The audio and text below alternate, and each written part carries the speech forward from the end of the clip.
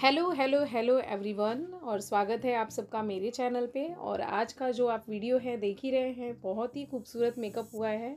और ये जो मेकअप है, पूरा ग्लैमरस लुक है, स्मोकी आई है, इसमें सब कुछ है। तो चलिए देखते हैं कि आज का ये मेकअप कैसे किया गया है। तो सब फ़र्स्ट ऑफ़ ऑल जो हम लोग करते हैं हमेशा से, पहले, सबसे पहले मैंने कर लिया यहाँ पे क्लिनजिंग और क्लिनजिंग के बाद मैंने यहाँ पर एक निवे सॉफ्ट करके क्रीम है। जिसे मैंने इनके स्किन पे अप्लाई किया है। तो जो आज की जो मेरी क्लाइंट है, इनकी स्किन थोड़ी ड्राई है और टी जोन एरिया है, यानी कि कॉम्बिनेशन स्किन टाइप है थोड़ा सा तो उस हिसाब से मैंने इनको मॉइस्चराइजेशन दिया है और इसके बाद मैं सी टी एम एल में जो सब प्रोसेस करते हैं, वो सारा करने के बाद यहाँ पर मैं ले रही हूँ फॉर एवर फिफ्टी टू का कलर करेक्टर और कॉन्टोर किट है। तो इसमें से सबसे पहले मैं इनके आईब्रोज़ पे पूरा आई आई बेस लगा रही हूँ। तो यहाँ पर जो सबसे लाइटर आइवरी शेड था, वो मैंने लगाया है इनके ब्रो बोन को इफ़ेक्टिव दिखाने के लिए। और नीचे के आई लिड पे जो मैं करने वाली हूँ, वो लुक है आज का स्मोकी लुक तो इसके लिए मैंने यहाँ पर आइवरी शेड की बजाय यहाँ पर सबसे जो डार्केस्ट कलर था इस पैलेट का, वो मैंने लगाया है। तो यहाँ पर आप देख सकते हैं ये सबसे पहली बार समझ लीजिए मैंने ही किया है। अभी तक किसी चैनल पर दिखाया नहीं गया है। और इसके करने के पीछे का रीज़न ये है कि मुझे थोड़ा डार्केट डार्केस्ट दिखाना था तो इसके लिए मैंने ये किया है। इसके बाद आई शेडो का जो भी आज हम लोग पार्ट करने वाले हैं, उसके लिए मैंने लिया है यहाँ पर फॉर एवर फिफ्टी टू का मैग्नेटिक पैलेट और इसमें से जो ब्लैक कलर है, वो बहुत ही जेड ब्लैक है, बहुत ही अच्छा खासा ब्लैक है। तो इसके लिए मुझे इसके palette for ever fifty two के जो पैलेट्स होते हैं, वो मुझे काफ़ी हद तक बहुत पसंद आते हैं।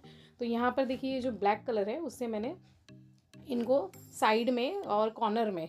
पूरा मैंने अप्लाई कर दिया है और बीच का जो स्पेस है, वो मैंने खाली छोड़ा है और वो क्यों छोड़ा है, वो आपको पता चल जाएगा। तो यहाँ पर तब तक, जब तक हम लोग मेकअप कर रहे हैं, तब तक हम लोग यहाँ पर आप मेरा चैनल जो है, वो सब्सक्राइब कर दीजिए लाइक कर दीजिए और आपको वीडियो अगर पसंद आए तो आप कमेंट करके भी बताइए।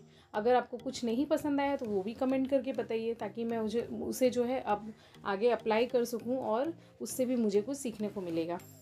तो यहाँ पर आप देख सकते हैं, मैंने एक ट्रांजिशन शेड लेकर और पूरा जो स्मोकी और ऊपर आई लीड पर जो मैंने हाईलाइटेड एरिया दिया था, उसको थोड़ा मर्ज कर लिया है।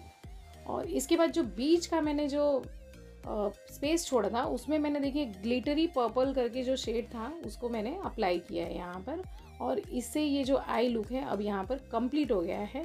थोड़ा सा फिनिशिंग टच मैं यहाँ पर दे रही हूँ।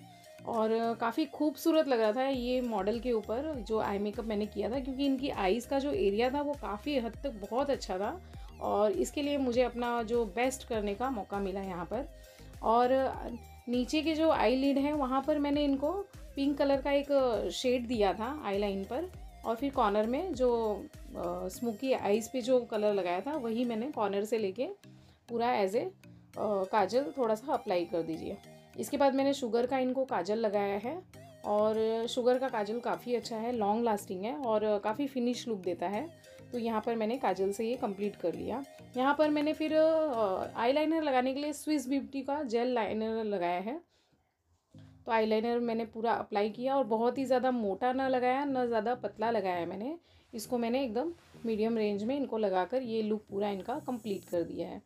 तो आप देख सकते हैं और वीडियो में अगर आपको कुछ, कोई लुक सीखना है या फिर कुछ आप मुझसे पूछना चाहते हैं तो कमेंट करके मुझे ज़रूर बताइएगा। और यहाँ पर मैंने पूरा आई मेकअप जब कंप्लीट हो गया तो फेस को पूरा वाइप आउट कर लिया।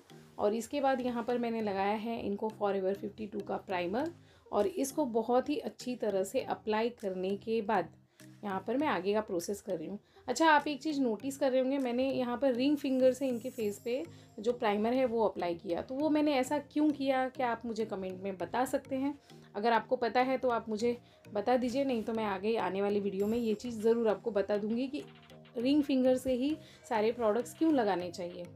इसके बाद मैं कर रही हूँ प्राइमर लगाने के बाद कलर करेक्टिंग तो कलर करेक्टिंग के लिए मैंने यहाँ पर डेली जो है ऑरेंज कलर करेक्टर लगाती थी यहाँ पर मैंने पीच कलर का लगाया है तो वो क्यों लगाया है, वो भी आप मुझे कमेंट करके एक बार बता दीजिए।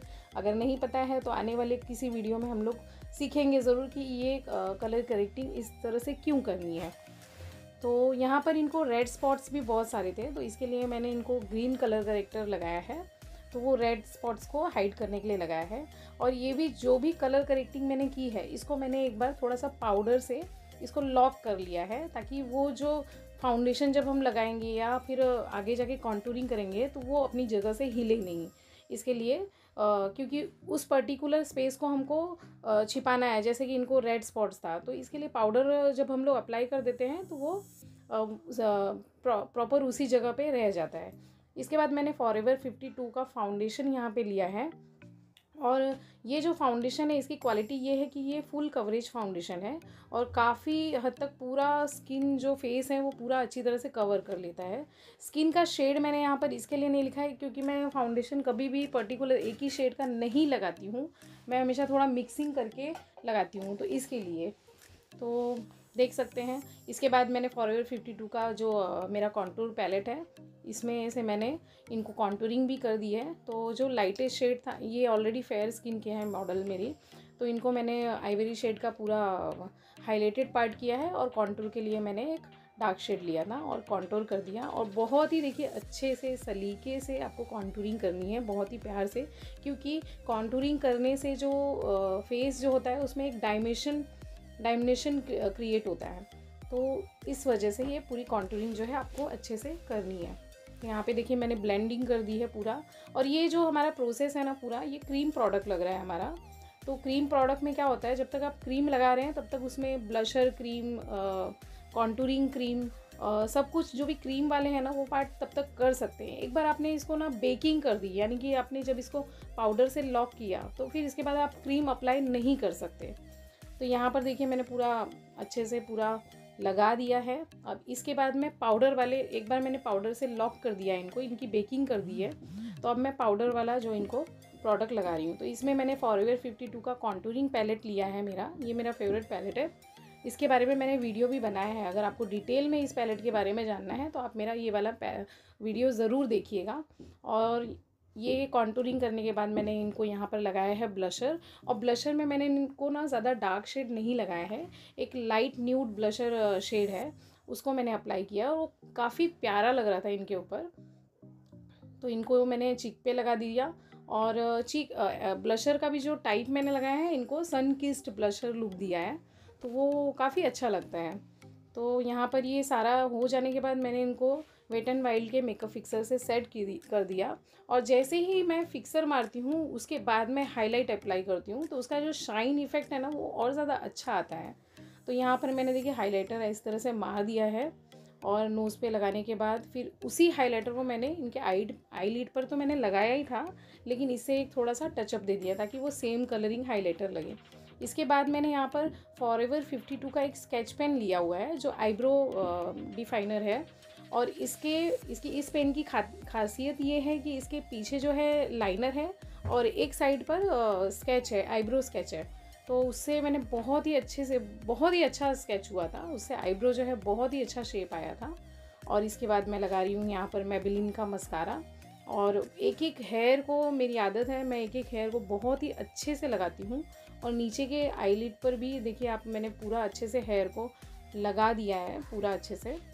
तो कुछ भी आपको अगर क्वेश्चन हो तो आप मुझे इसके बारे में पूछ सकते हैं।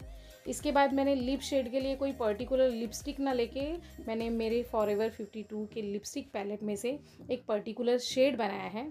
इसके लिए मैंने आउटलाइन पे जो है वाइन शेड लिया है लाइट वाइन शेड और बीच में जो मैंने है एक न्यूड कलर जो पीच कलर का था, उसको फिलअप कर लिया है।